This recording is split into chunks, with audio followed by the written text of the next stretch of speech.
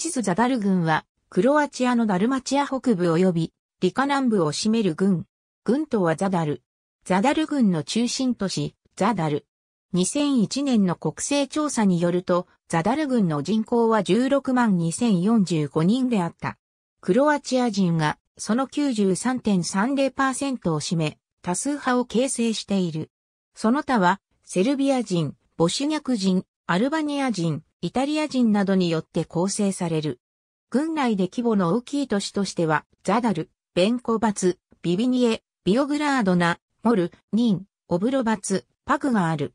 ザダル郡には、トゥギオトク島、ウグラン島、パシマン島、パグ島などの島々が含まれている。また、パクレニツァ国立公園も含まれている。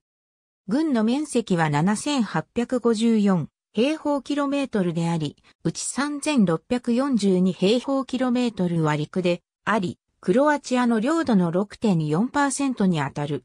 海は3632平方キロメートルであり、クロアチアの領海のおよそ12%を占める。島嶼部の面積は580平方キロメートルであり、300を超える大小の島々から構成されている。海岸線の長さは、島嶼部も含めると 1300km である。次を解く島の景色。この地方には、複雑なダルマチア式海岸が形成され、多くの島が並ぶ。パグ島の中心都市パグ。二つの切り立った渓谷を持つ、パクレニツァ国立公園。ザダル郡の交通は、クロアチアの北部と南部を結ぶようとなっている。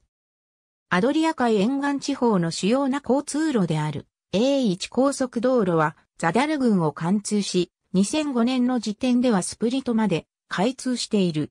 ザダルからはマスレニツァ橋、スベティロクトンネルを経てザグレブへと続いている。ザグレブクニンスプリト鉄道線からはザダル郡を通ってザダルとシベニクへと支線が伸びている。アドリア海沿いの地方では海上交通もある。ザダルからイタリアのアンコーナを結ぶ国際カーフェリーの航路があり、ザグレブ、ザダルからアンコーナを経由して、ローマへ至るルートは、中央ヨーロッパとローマ以南のイタリアを結ぶ最短経路である。ザダル空港は改築され、現代化された。滑走路の改修が続けられており、ジャンボジェット機の離着陸が可能となる。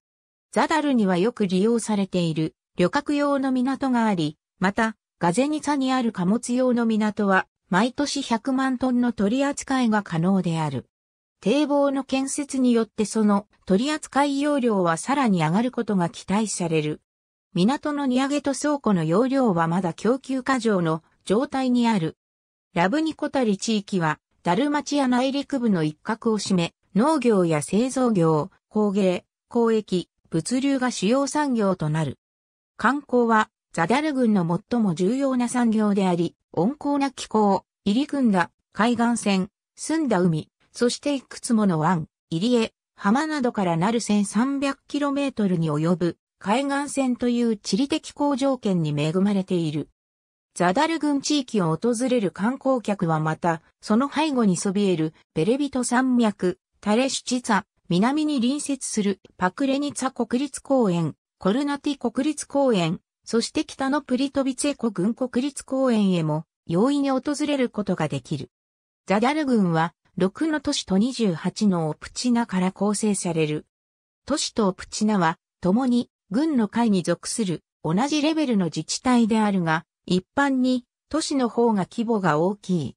2008年以降、ザダル郡の長官はクロアチア民主同盟のスティペズリリッチである。軍議会は41議席からなり、その政党別の内訳は以下の通りである。ありがとうございます。